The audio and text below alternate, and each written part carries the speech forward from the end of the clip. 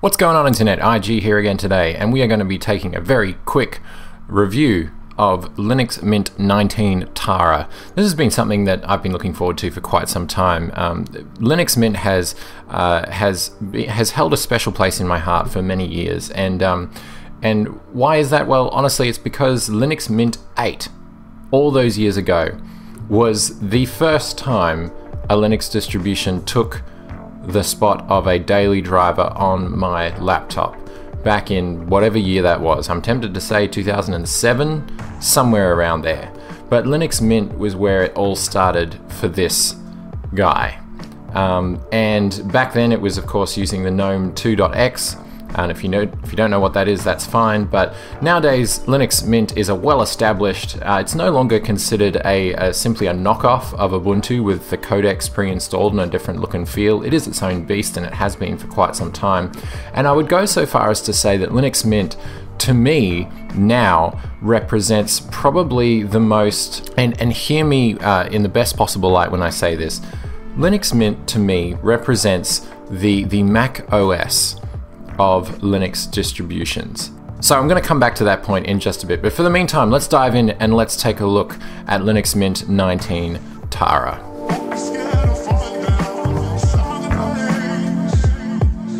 Okay, so what do I mean by it's the Mac OS of Linux? The thing is that Mac OS for a long time, and I'm and it's definitely not the way I feel about it now, but for a long time, Mac OS was designed uh, to be a, a simpler, to use operating system and one that got out of your hair and, and to use a cliche, just worked. And that's what I feel Linux Mint has been pursuing, not simply for, um, not simply as uh, to try and be an alternative to Windows or be an alternative to Ubuntu, but to try and pursue its own thing, to try and make its own operating system and its own users uh, happy.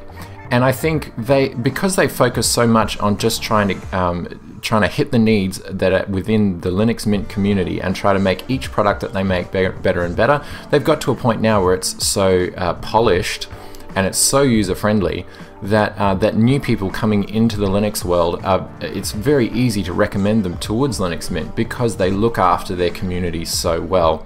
And I guess an example of that is obviously the fact that they realized that churning out a release every six months based on a new code base uh, from Ubuntu was sheer insanity, and it is.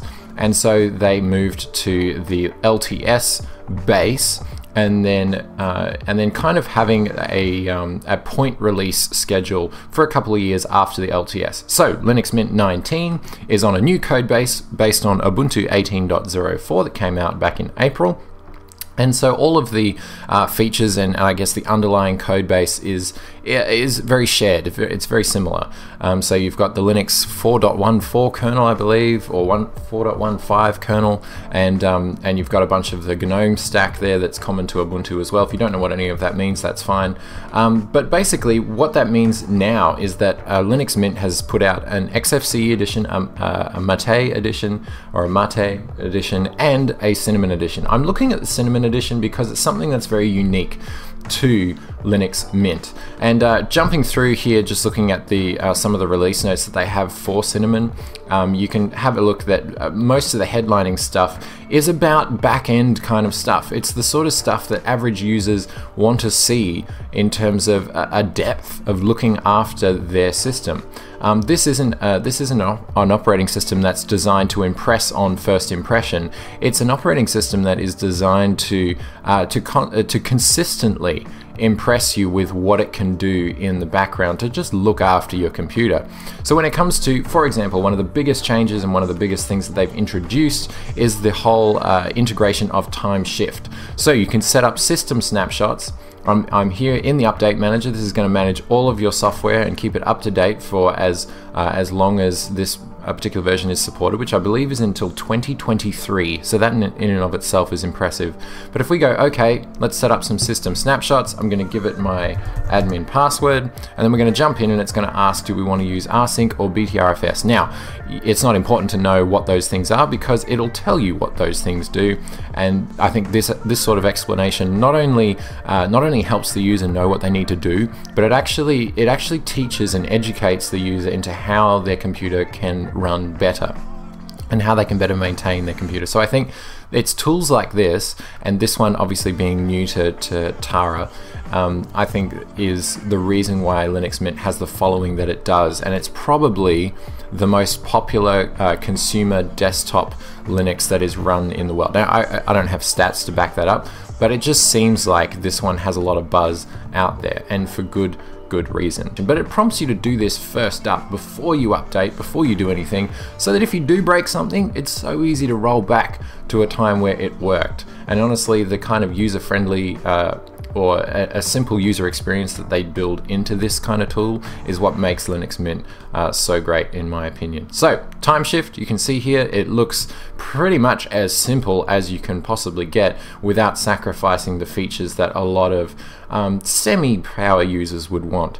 So Timeshift, great addition there in the Linux Mint 19 release. Um, the other things that come down to it are basically just um, sort of user interface tweaks. They've made Cinnamon a bit faster. They've also done some tweaks to the software uh, center, which of course the software manager is their own. It's not uh, piggybacking off Ubuntu's or anything like that.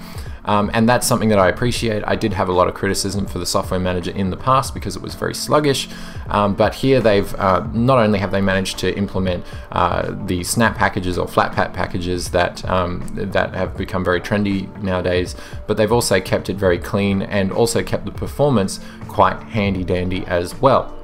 Um, now, the other thing that I will say is that um, usually speaking, they will get um, you'll be able to get some pretty good um, you'll be able to get some pretty good reviews and ratings from a lot of these applications. And typically speaking you'll notice that the ones that are the highest rated show up at the top of the list. So that means you're not left um, fishing through all of the the junk that is uh, that that is the Linux ecosystem. Um, all of the best ones come right to the top, and you can see here that a lot of these reviews, some of these have um, over a thousand reviews. So there's plenty to uh, to pile through there if you're looking for a particular app. So uh, I think this software manager is um, superior to the one that comes on Ubuntu, the one that is standard with GNOME. And I think, uh, and if you want to find software to install, then this is obviously obviously the place to do it. Even something as simple as an editor's picks section is always nice to see. Okay, so that's enough about that. Um, Cinnamon, they've, like I said, they've made that a little bit snappier. They haven't added too many features per se, um, but they have tried to uh, minimize the amount of redraw time so that windows open a lot quicker. Um, personally, I actually haven't been running Cinnamon enough to know the difference, um, but to me, Cinnamon already felt pretty snappy on modern hardware. Now, what I will say is that um, because I am running this inside a virtual machine um, and it is using a software renderer, you can see the CPU is churning away, um, and I'm not sure if there's other stuff going on in the background. Let me check real quick. And yeah, most of it is Cinnamon, which unfortunately, when Cinnamon is in software rendering mode, it is absolutely burning through the CPU there.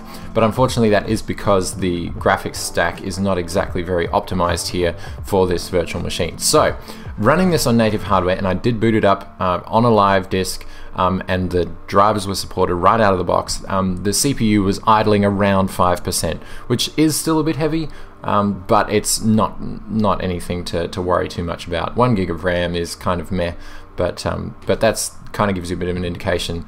Um, so in a virtual machine, this thing will slog down absolutely, um, just because the way that Cinnamon handles, uh, or rather the way that uh, virtual machines aren't really well optimized for uh, for Cinnamon's uh, window manager. Okay, so in terms of, um, like I said at the top, when it comes to this, uh, for me, th I see this distribution as the Mac OS of of, of the Linux world because it focuses on quality, polish, and, and ease of use for its user base rather than just trying to add new features and build new stuff just for the sake of it um, and it prefers being stable and reliable as opposed to uh, trying to wow people with a bunch of new features. And I think its community really appreciates that.